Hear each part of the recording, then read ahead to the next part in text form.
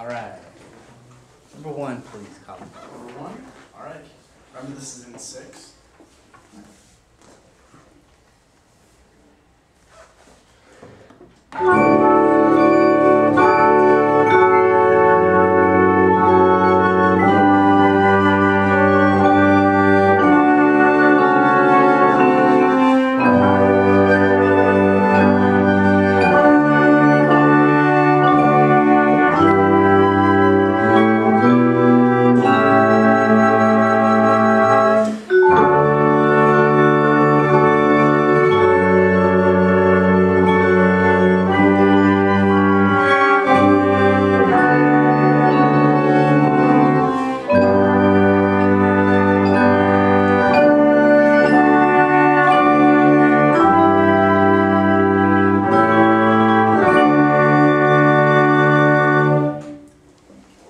Your thoughts on Colin's six pattern?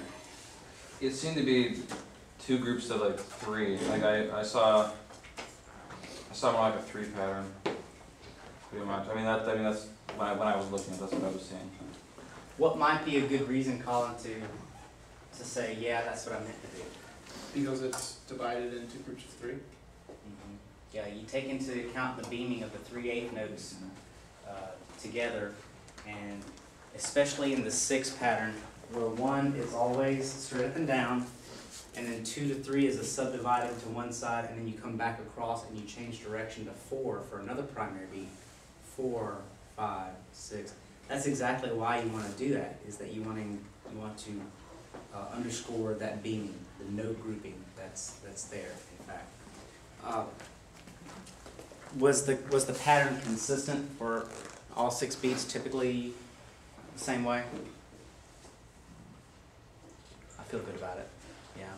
Uh, just in terms of your gesture, you're, you're, you've developed that, that finger click affectation in your left hand as an attempt to mirror exactly what you're feeling in your right hand. Mhm. And I want you to get out of that habit. Because ultimately what that left hand is gonna do, as we've tried to experiment a little bit this semester, is that's gonna do more shaping and guiding of the line and the phrasing. And so they're gonna have to develop more independence. And if you get used to making that exclusively mirrored, then, uh, then that's gonna be a hard habit to break later on down the line. Um, Now that we've had a couple of terms tests, is there, if, if you didn't see andante at the beginning of that, and not necessarily thinking especially about tempo, but about the character of the, of the music that Colin brought about to his interpretation, what terms would you, would you put there instead of andante? it was more of a macerato. Okay. So you felt like, Yeah, I, th- I thought it was a little bit more, more quick and okay. What about the feeling of the music, like a descriptive word, a stylistic term? Just, just in, your, in terms of your experience of playing it and, and hearing it through Colin. I think you could, could you call it espressivo? Okay. Alain? Um, it's m- probably more to the tempo than to the style. It's like uh, playing in a walking pace. And you just you just walk, so it shouldn't be like a song. So Okay. Colin, in terms of your interpretation of the style, is this um, a more legato style or more marcato or staccato?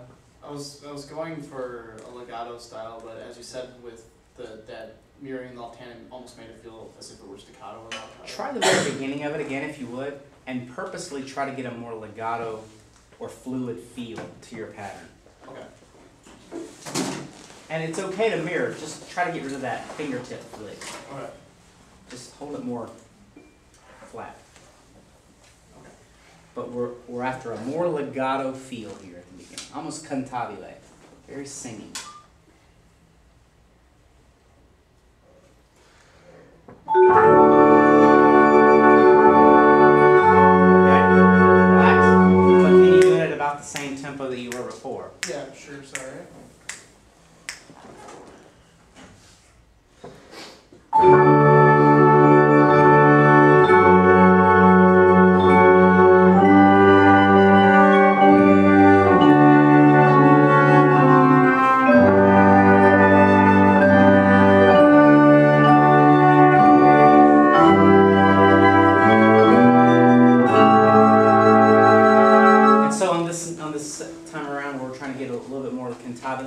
Or style, take a look at the video and see how much wrist motion you're, used that time compared to the first time.